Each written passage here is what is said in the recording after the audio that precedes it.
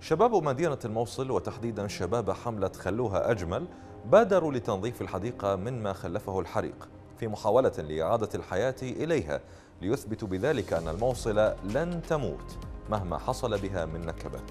فلنشاهد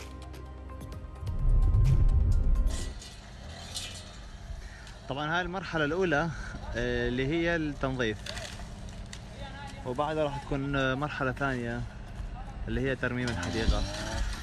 الشباب يشتغلون من الساعة 8 الصبح ووسط هذا الحل الحر ال- ال- يعني جدا كبير الحر اللي موجود هنا والأتربة اللي موجودة.